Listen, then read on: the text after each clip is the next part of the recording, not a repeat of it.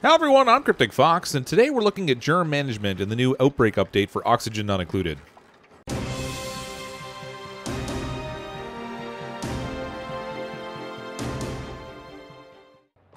The new Outbreak update adds a variety of new buildings to the game, as well as some new challenges to deal with, specifically in the form of germs and diseases. Your game begins in the core biome, and it's basically a sterile environment. There's no germs present, so you don't have to worry about them initially when you first start the game. But as your colony grows and expands, you'll encounter germs that are part of the environment, and also those germs that you are making yourself through the process of just living.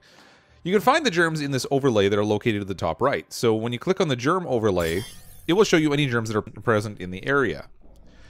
There are currently two different types of germs you might find food poisoning and slime lung. At some point in the future, there might be additional updates that add other germs and other diseases to the game. However, these are the two that you have to deal with initially. As your colony expands, you'll start to encounter germs that you've created in your own environment, as well as those that you find in the general environment around your colony. Managing these germs is really important in order to ensure that your colony survives. Now, if you're not familiar with the strategies that are needed to manage those germs, it could be kind of a daunting task because your duplicates constantly get sick as they encounter different objects. But with a few simple steps, it's actually fairly fairly easy to manage the germs, and it just adds another layer of complexity to the game rather than making it super difficult. While there aren't any germs you're initially encountering in the game, you will start to create your own, and the first of those that you'll have to deal with is food poisoning. Food poisoning germs will appear as yellow on your germ overlay. Now, these germs are specifically produced by using the bathroom. Whether that's the outhouse or using the lavatory, you'll still produce uh, the food poisoning germs in those locations. Consequently, if you're if you're using a compost along with your outhouse, you'll also notice that there's often going to be a lot of food poisoning germs located there, specifically because of the polluted dirt that you're removing from your outhouses and processing in the compost.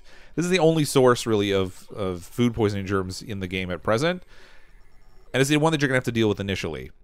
There are a number of ways to deal with the with food poisoning germs that are relatively simple. The easiest of which is to ensure that you have wash basins next to your bathroom so that whenever your duplicants use the facilities, they'll consequently wash their hands. These wash basins will remove up to 480,000 surface germs from the duplicants. And it basically takes fresh water and, and when they wash their hands, it will produce polluted water. This polluted water contains germs, so you don't want to mix it in with any of your any of your other water sources. Your duplicates will load the wash basin using the, the water bottler, and they'll remove bottles of polluted water from this, and then you want to empty those. In order to empty your wash basin, you'll need a bottle emptier. This bottle emptier can be set to empty either polluted water or regular water. In this case, I have this one set for polluted water, so whenever they, they fill up the wash basins, which are actually located right above this, whenever they fill up the wash basin, they'll take the bottle of polluted water down here, they'll place it on the bottle emptier, and that water will then empty down into the reservoir. I have this reservoir set up specifically separate from the rest of my colony so that when they're emptying the germs in here, I've got a very high concentration of food poisoning germs located in this water, but it's not mixing with any other water within the colony, so that's okay. The second way that you help control the germs within your colony is within the germ overlay, and this is something that's normally turned on as a default. I turned it off here just for the uh, for example. But with this box checked, you can set the amount of germs that your colony, your duplicates will try and disinfect your colony at. So this one is currently set to 10,000 germs, but you can set it to higher values. I think it's up to a million. Uh, so we'll set it for 100,000 germs. So whenever the duplicates encounter a, a scenario where there are 100,000 germs in any given place, they'll run around and try to disinfect it. As long as you have that job turned on for whatever duplicates you're using. There are two basic ways that your, your duplicates interact with the germs. In one scenario, they'll have surface germs, and this comes from coming into contact with any substance or surface that has germs on it. So that could be either slime lung that you're getting from the environment and pieces you're picking up, or if they've used the facilities and they didn't wash their hands, they might have surface germs on.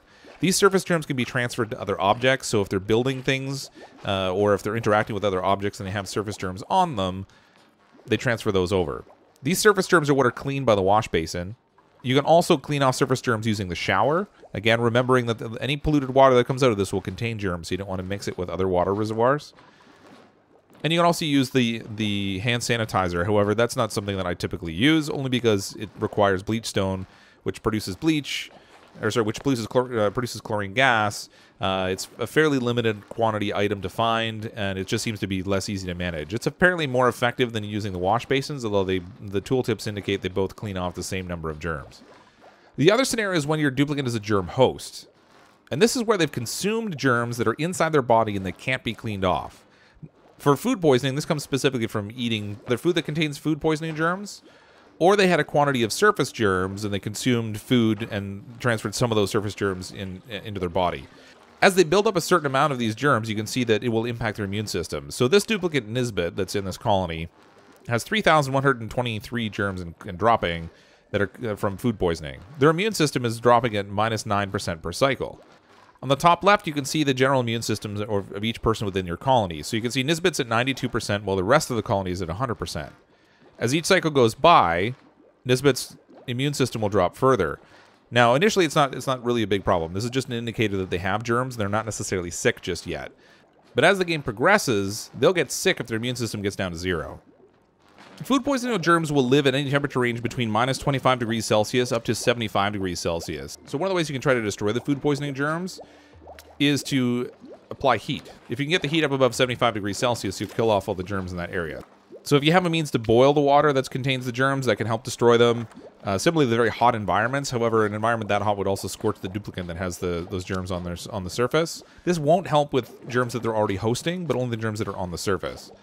So it's best when you're trying to clean off objects or you're trying to clean off the polluted the polluted water. If the duplicate should should contract food poisoning, it'll last for one and a half cycles and will cause vomiting. Also gives them uh, additional trips to the bathroom that they have to take. Their bladder efficiency is lowered, and it lowers their uh, their general stamina. Food poisoning is not really the more dangerous of the two illnesses right now. Slime lung is far more dangerous because it will actually kill the duplicant, whereas food poisoning is really just an inconvenience. Really, the biggest thing to remember when trying to control food poisoning is just ensure you have wash uh, wash basins stationed around your colony. Uh, you can choose the direction that they'll they'll wash with when they when they move past it. So with this wash basin, it's set to direction where if they're passing from the right side to the left side and they contain surface germs, they'll stop and wash their hands. But you can set it to the right. You can set it so if they go in both directions, whatever works for your scenario. Try to control where you have your bathrooms located so that there's only a single entrance in and out and make sure that you have enough wash basins for the uh, for what's contained within that area.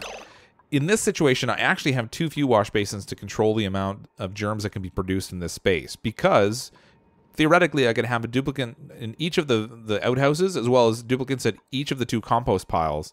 And if they run past and there's another duplicate using the wash basin, they won't stop and use it because it's occupied.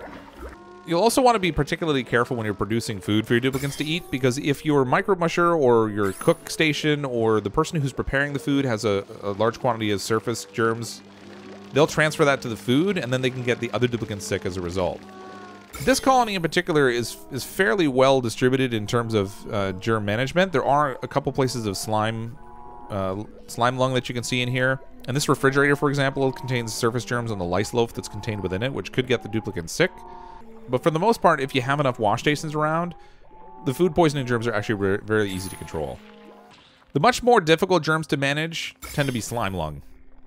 It'll show up green on your overlay, and you can see there's very high concentrations out here. The slime that's contained in the swamp biome will often have in excess of 1 million germs, which is actually more than you can clean off in a single washing with, eh, with any wash station. The wash station cleans off about 480,000 germs, so generally, you'd have to have two of them in a row if your duplicate was interacting for a long period of time with the slime that has that high concentration. You'll find these germs anywhere there's a swamp biome, and it's contained with. You'll find it within uh, anything that's growing in there. It generally won't. Uh, it won't infest the metals, so anything that's gold amalgam out here, as well as the polluted water, will be free of it. These germs can also be airborne, so you can see they're in the polluted oxygen here, and they'll continue to multiply in the polluted oxygen, where it can be breathed in by any duplicate that might be interacting with it. Fortunately, the slime lung germs are only in the swamp biome, so unless they introduce another form of germs, the other biomes will be will be clear of them unless you introduce those germs.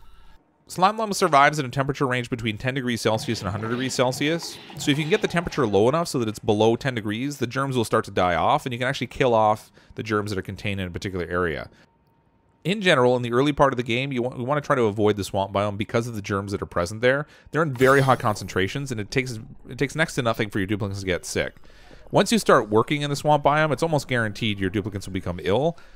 So you'll want to implement a couple of control measures to try to manage how many people are going to be in the swamp biomes at any given time, control the introduction of those germs to your environment.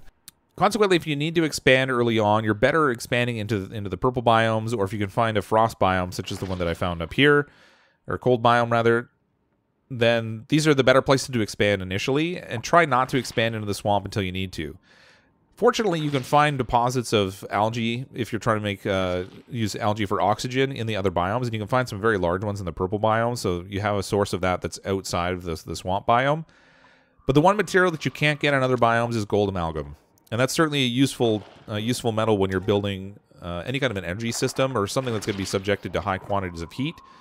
Because it has a specific benefit for uh, for overheat at plus 5,000%, it adds to the overheat temperature, which is very useful for anything that's going to be really hot. You can do without these initially. At some point, you're going to want to go after the gold, uh, the gold amalgam or the slime that's in there in order to produce additional algae and that sort of thing within your colony. But try not to access the swamp biome early on, and you'll and that will help avoid introducing slime lung in your colony, and you'll be able to expand quite significantly without without going to that length, and just control the measures with the food poisoning. When you do get to the point where you want to expand out into a swamp biome, I suggest using some form of an airlock that can be used to control the environment that your duplicates are going into, and also to limit the number of people that can access the swamp biome.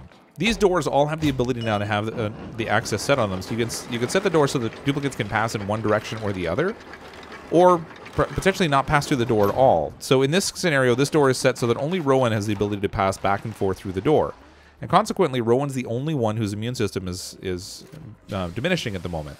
Within this airlock, I've filled it with chlorine gas. The chlorine gas will kill off surface germs at a, at a, at a fairly quick rate.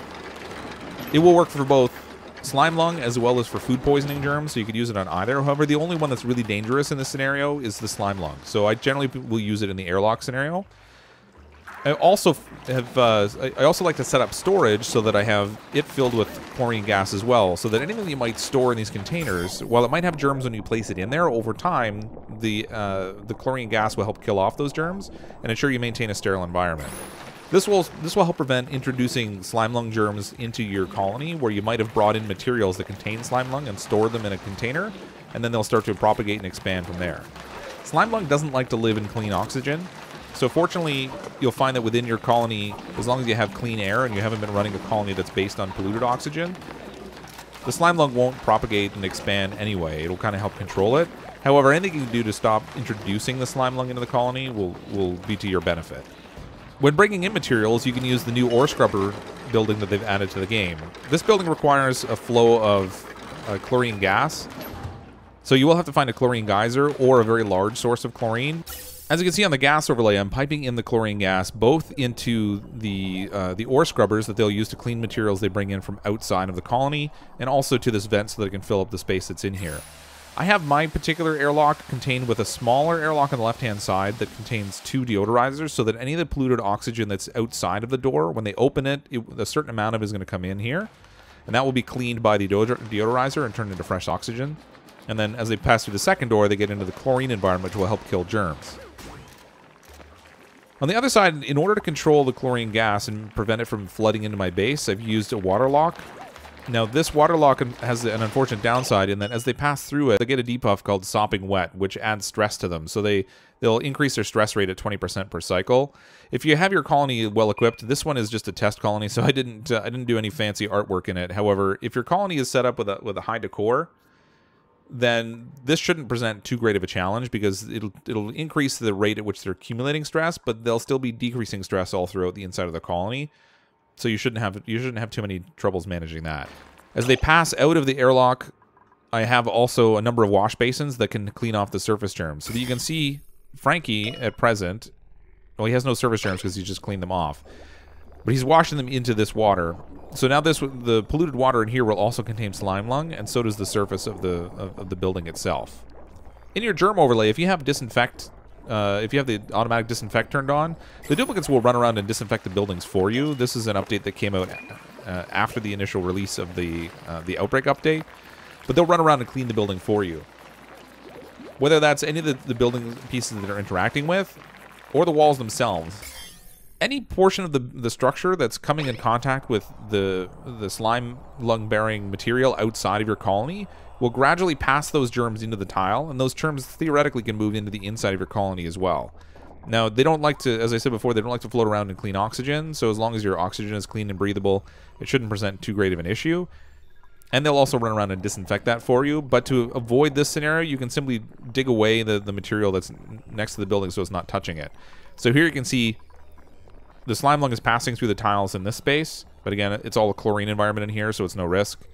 Below this section of the building, because the slime lung containing material doesn't actually come in contact with the tile, The transfer rate into the tile is very, very low. This, this is all basically normal with zero surface germs. By using a number of different control measures, you can try to control how many of the germs your duplicates are coming in contact with and rotate your duplicates into the slime lung, uh, slime lung areas. But inevitably, somebody's going to get sick, as Rowan has gotten sick here. He has slime lung, and if it doesn't get treated within 10 cycles, he will die. In order to treat him, you're going to need some sort. You're going to need to set up a medical facility. With the new update, there's a there's a new requirement that med beds are located within a certain amount of, of distance between some form of a bathroom, whether it's an outhouse or a lavatory, and then some source of food, whether it's a refrigerator or just a, like the food storage crate. So in this case, um, when you click on the med bed, you can see the effect that glows around the bed, which looks very similar to uh, when a, a duplicate was sneezing. In order to treat your duplicate, you just want to click on the med bed and to get the assigned med bed, and then choose the person who's going to be assigned to the bed. You can see with Rowan in the medical bed that he has he has a critical illness, so he has slime lung.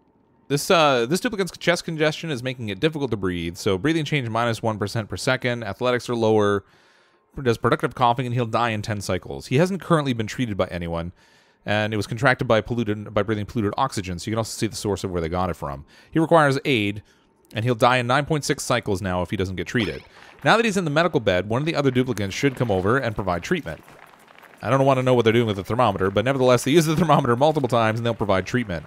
What this will do is allow the duplicate to recover. It will reduce their their recovery time from 10 cycles, which would normally kill them, down to a period that's only about 4 cycles. Within that 4 cycle period, they'll recover from the illness so the slime lung will go away. And once the slime lung has gone away, they'll gradually start to increase their immunity. The only thing you can do for these duplicates is keep them out of contact with the other germs.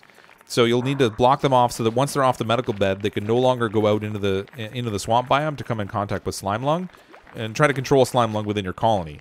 So as you can see now in his tooltip, it says that uh, duration remaining 3.1 cycles. So he'll recover in 3.1 cycles, and if he hadn't been treated, he still it still shows the period of time that he would have died in.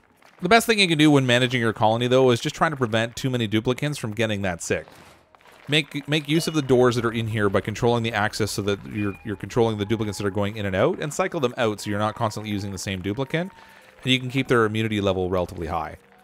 If you look out in the swamp biome in this polluted oxygen, you can see there's a, there's a pretty high concentration of the germs. Uh, something around 15 or 16,000 germs per tile is, is in this area. It's not as much as the actual surface itself, where there's over a million germs. However, this is where they're breathing in those germs and getting it, uh, getting them into their system. So you can also try to control their the interaction with the germs from this space. Slime lung doesn't like to live in clean oxygen, so if you can clean this oxygen, you can reduce the germ count.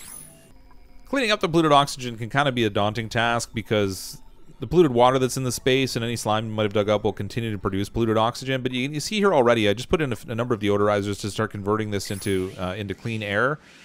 And there's already been a dramatic reduction in the airborne germs that are in here. So if you can actually clean out the space and have it relatively clean, that can help uh, control infection as well. If they're digging through the slime and whatnot in order to harvest, they're still going to come in contact with a high quantity of germs, so you won't really be able to control that. But at least moving in and out of this zone, they won't come in contact with as many airborne germs. They're already down over in this space. They're down to only a few hundred germs from 16,000, so it cleans up relatively quickly. Alternatively, you can also pump chlorine gas into the space and will accomplish the same outcome. That in turn will also disinfect the very surface, uh, the surface germs that are on the very, uh, the very edge of the environment around the, the gas as well, because it will kill off some of those surface germs as well.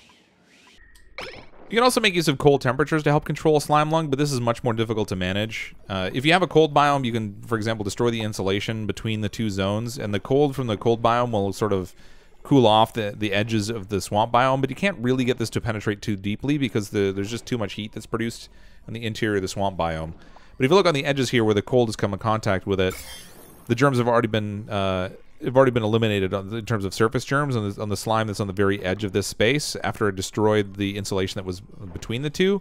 It takes a fair amount for it to drop. As you can see here, this one's um, this one is, is declining, and, and but it's also it's also multiplying at the same time because the temperature is at 19 degrees. You need to get the temperature down below 10 degrees to actually kill off the germs that are in that in, in that particular environment. Uh, alternatively, you could use other means of cooling. For example, you might use a wheeze, multiple Wheezeworts. However, getting the temperature down low enough to actually kill off a significant number of germs in a large space isn't terribly feasible. But you could use this in other parts of your base to keep the temperature below 10 degrees Celsius so that the germs simply can't survive there.